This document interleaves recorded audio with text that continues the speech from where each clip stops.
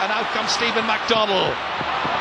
His clearance away there is only towards Andy Smith. Smith picks it up inside in his own half, delivers it towards the half forwards, in towards David Burke.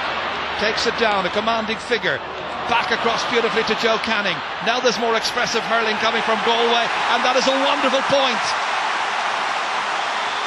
Nine for Joe, 14 for Galway. They lead by two. Yeah, very good interplay by Galway there, David Burke, and then crossfield ball to Joe Canning and struck over great point from the 45 metre line. But